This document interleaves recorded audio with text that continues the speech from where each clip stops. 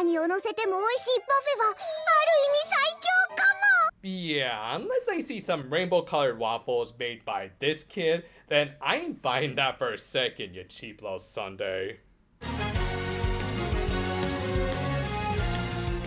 We open this week with a flashback that'll probably be more significant next week before we cut over to Amane and her massive ponytail. Like, seriously, while this is a good bit to quickly establish her fighting prowess because there's a lot of things we have to establish with this character, that thing on the back of her head can't be easy to move around with. But yeah, we also got hints of her still struggling to overcome her time as Masquerade. I mean, gentle. Randon actually would have been nice if we had held on this scene, but we then had to cut over to these worthless royals.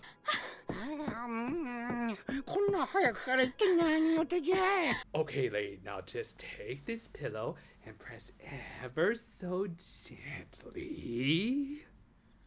But yeah, New MacGuffin was conveniently awakening and taking on the form of something very marketable. And you can buy that in a set with another toy for only 8,500 yen. Jeez.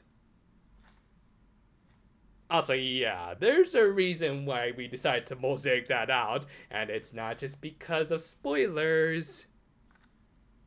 Oh, we're going to have fun next week. The king and queen conveyed this to Rosemary through his pendant that I'm just now noticing has a freaking speaker. Well, can't say it has an impractical design at least. anyway, this thing called the light ball, no not that, was apparently something that drew on similar powers as the energy fairies, so yeah, obviously it was going to act as a transformation trinket. Not that King Candy here could figure that out.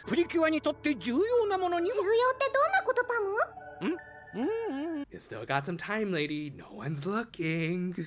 Meanwhile, our heroines convened at school, and as the title suggested, so did Amane. They exchanged some pretty nice greetings after everything they had gone through. However, even though this was another nice moment that they could have used to further flesh out her character, they were interrupted by the greatest evil of this entire show, the simps. Um, what's Rosemary doing at the school? Meanwhile, at the Lair of the Bundles, Narcissus revealed that he had come up with a new idea for a monster, which wouldn't really result in a brand new type, but more just a variation, as we'll soon see. Thus, he was going to test it out whilst trying to worm his way out of that stupid salute. Yeah, it's bad when even your villains don't want to hide anymore. Later, the Precure received the light ball that unfortunately didn't come with Pikachu, but rather this thing. But yeah, I guess this food fairy was going to act as the partner to a new Precure that it obviously wanted it to be Amane. However, it couldn't talk and thus needed Pom Pom and Memdragon to interpret for it in a not so funny scene. Yeah, I think this is supposed to be funny, but the comedy just doesn't feel like it's there when we have to wait on our characters to talk for this thing, and its obnoxious personality certainly didn't help matters. No, and also it was a parfait, which meant Amane was going to be like a pure parfait, you could say. Oh, wait. Just saying, Ciel is a business owner with a trademark, so she could more than easily file a copyright lawsuit. They stopped by Amane's family shop, where the girl was having a bit of a tiff with her waifu, I mean, vice president. And again, as the title suggested, this was over Omni abdicating the position as the student council president, which Moi here was against, as apparently she ended up cheering her up after a string of failures. And kinda surprisingly, she didn't do this with ice cream, but rather a fruit cocktail. I mean, yeah, they work at a fruit shop, and I guess they could be saving that for next week, but still, come on, who doesn't turn to ice cream when they're sad? Question of the video, what's your favorite flavor of ice cream? You can actually see mine in the thumbnail. Anyway, as it turned out, Moi being encouraged to continue her pursuits was more of an incidental effect of Amane's casual generosity still, it was a good moment showing that she can be a good person even if she wasn't completely conscious of it, and preferably not wearing a stupid mask. And I guess that, plus some previously established stalking, was enough to convince the sundae to pester the energy fairies into making her the next precure. Anybody got a microwave handy? Amane ended up touching the incomplete transformation trinket, which started to form as soon as she did. Thus, our protagonist tried to talk to her about it, but obvious victim of the week was obvious. So again, they cut off a good character building moment for Amane, though at least this one was justified, and they let her keep the glowing heart for now. With that, our protagonist just kind of found Narcissus, though this might have been on purpose, as he did want to show off his new monster concept that involved asking what was 1 plus 1, which Yui seemed like she was legit struggling to figure out. You know, I'd actually recorded a whole segment here talking about my issues with Yui and her development, but for now, I think we'll hold off on that, as she wasn't all that prominent in this one. She didn't even do a grammar code this week. All I'll say for now is that they're not taking this character in favorable directions. Anyway, of course the answer was 2 normally, but in this case, he believed in the concept of the whole being greater than the sum of the parts, so he combined two catalysts this week. Oh great, you made Forky. Hey, could somebody trash this thing before it ruins a perfectly good movie trilogy? Seriously, while the fight this week will actually be pretty decent, that's still a really lame design with a very obvious weak spot, but whatever, at least it was made up for by the arrival of the only Sixth Ranger this show really needs. Hell, Takumi even joined Yui in the famous deadlift sequence. And as a result, the fight was pretty well animated in parts, and better than average, even though again, I don't think they should have needed Rosemary to point out the obvious weak spot, but whatever. Later, they went back to Amane to of course offer her a position as the Sixth Ranger of this team, but...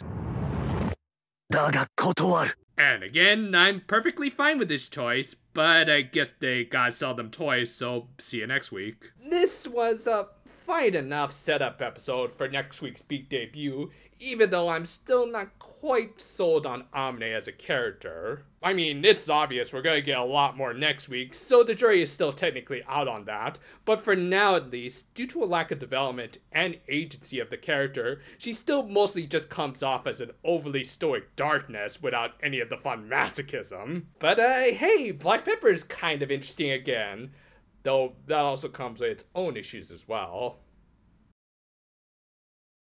All snark and jokes aside, this episode on its own was actually very well paced with a lot of new story elements like the light ball and the parfait fairy being fairly naturally delivered and established. This was helped by the fact that they also circumvented all these show's superfluous elements of the show, like the recap and most of all the narrator. Though personally, I would have appreciated a grammar quote if only for the sake of a joke.